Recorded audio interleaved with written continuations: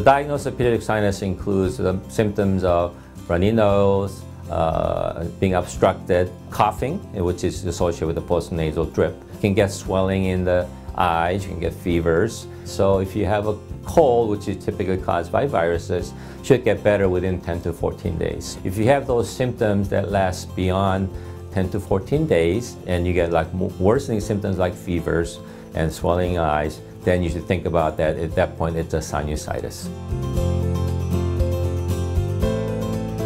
It'll be the same type of period that when the children have more colds, they're more likely to develop acute sinusitis. So they'll be in the younger age group, you know, usually two, three, four, five, six, seven type of age.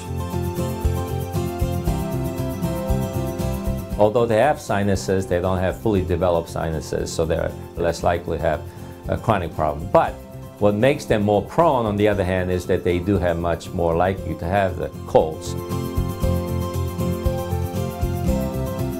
A antibiotic is the mainstay of treatment. And then otherwise you, you support, you try to clean out the nose better, do some saline washes. If they have significant obstruction, you can do some decongestant. But most of the time, it's the antibiotic treating the bacterial infection that's going to make the difference.